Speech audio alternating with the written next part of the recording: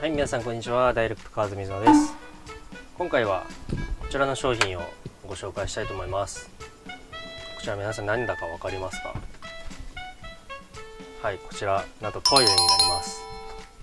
すごいコンパクトなトイレですよね、えー、こちらラック RV から、えー、商品展開されている商品になります。こちらのトイレなんですけど、えー、お子さん専用のトイレとなっております。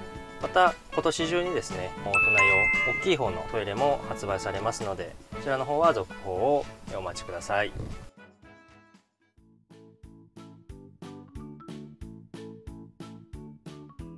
では説明の方をしていきます。後ろを見るとですねこちら電源が見えますでしょうか。こちら電源ボタンを押すとはいピーって言いますので、はい、こんな感じでメーターというかモニターですねになっております。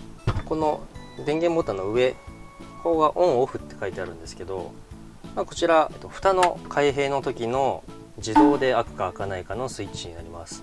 これ今オフになってるんですけどこれオンに切り替えて黒いここの部分がセンサーになってておっと今開きました。ではここの黒いところをブッてかざすとこんな感じで自動で蓋が開いてくれるような仕様になります。場所によってはですねすぐ開いてしまう時がありますのでこういう時はオフにしてあげてですね手動で開けるっていうのもできます。はい。では次中の説明になるんですけどこちらオレンジの中蓋ですね。これも取ることができます。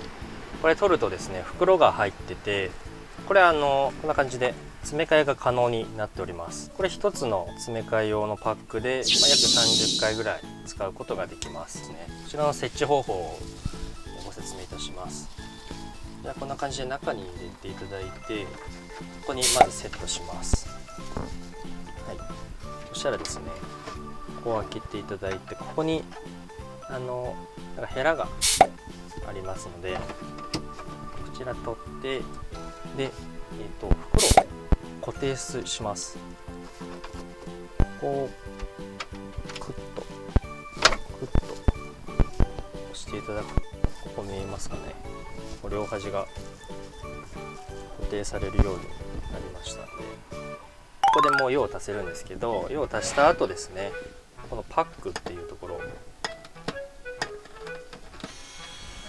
すと要は自動にこうやって蓋をしてくれます。でこれを熱で、えー、圧着してもう密封した状態でそのまま燃えるゴミとしてえー、捨てることができるようになります。で、えー、熱を加えるのにですねここタイマー出てるんですけどここですね。熱が終わるまで待機しましょう。待ってる間にですねこちら、えー、まあ、ワイヤレスでも使えるんですけどこのコードが付属してまいりますのでこちらをこうやってつなげてこれで充電することもできます。終わりましたね。はい。これ終わるとピーピーいってここが蓋ですのでこう。はい。振るとこんな感じで。はい。これ蓋もされてます。はい。